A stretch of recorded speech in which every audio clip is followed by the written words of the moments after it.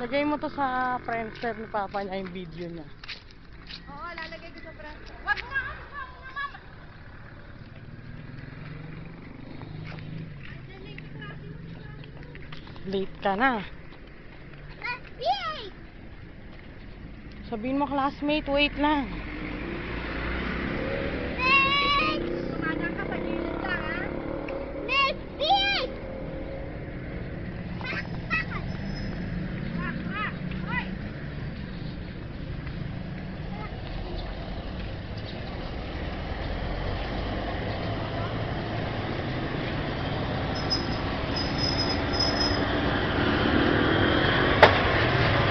Bakit?